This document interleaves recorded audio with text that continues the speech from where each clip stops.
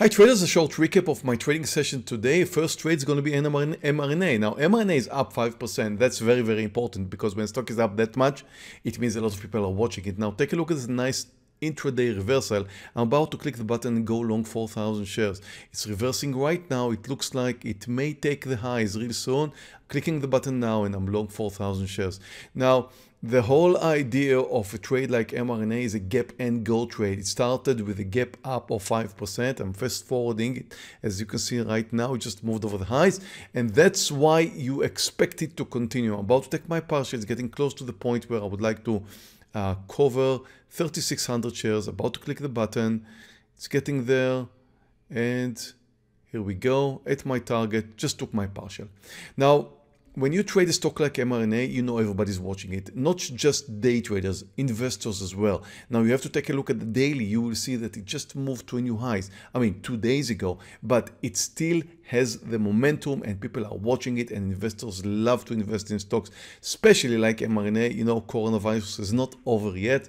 So uh, you're getting some help, backwind, not only from the day traders, which are really just a small part of the industry, but also from the long-term investors. That's why when you click the button, a nice intraday reversal, you're getting more help and more likely to succeed. If you like this video so far, how about giving us a thumb up? It helps more people like you find this channel and more people like you learn a little bit more about day trading. Now let's get to my next trades. Next trade, FGEN. Now this one's down more than 40%. And again, it means a lot of people are watching it, not just the volume, over 2 million shares. Normally it doesn't have much volume. I'm about to show 12,000 shares because I believe in the fact that it's going to be a gap and go. Clicking the button right here. Well, it spiked down as you can see. I got it at 1408. I was really expecting to get it at 1430. And that's why I'm going a little bit through hard time here. As you can see, I'm down like 6 grand right now. But I do trust the trend. The stock is down a lot and is expected to be a gap and go and a continuation. Now, as you can see, it is getting back to the lows and I'm, I'm intending to add a little bit more under the whole number 14. Whole numbers are very important. Just came under, clicking the button, and I'm short another 8,000 shares. So I'm taking a big risk here. It's not a huge mover, 50, 60 cents or so, but I am taking quite a big risk because of my quantity. Now, I do trust the trend. I trust the fact that it's down more than 40%, therefore very, very likely to be under some pressure. And again, it's a gap and go, the same idea like mRNA. I'm up like 7 grand right now. I'm getting ready to the point where I take my partial just reached my target, clicking the button and leaving 1000 shares for the longer game. You always want to leave a little bit more because, you know, I do work with a one-to-one -one risk reward ratio, which means if I'm risking like 50 or 60 cents, I'm trying to get the same thing and um, but I do leave some more because it's likely to continue. So just left 1,000 shares and hoping for a bigger move in FGEN. And again, remember, it's the same idea like mRNA. It's a gap and go because it started with a big gap down. mRNA was 5%, this one's 40%. It's quite rare. But when you have a stock down that much, you expect fear, you expect people to sell, you expect it to continue the move, and it did. I've got another winner. Well, you remember mRNA, I'm about to have a second trade in mRNA and that's why, because it pulled back from the highs. You don't buy the highs, you buy after a pullback. So I'm about to add another 2000 share. I already, I have 400 shares which I left at my previous trade. Now I click that button and I'm long 2000 shares more. Now I am expecting a reversal. As you can see this reversal right over here is uh, during an uptrend and uh, mRNA is again very very strong today. Daily looks great and I expect some continuation and as you can see after a small pullback it uh, does continue uh, for a new high. Just moved to a new high and I'm getting ready to take my partial. About to click the button and again left 400 shares. So I just reduced my size again with the same quantity that I added earlier, 2000 shares and got a second partial, a second nice trade in mRNA.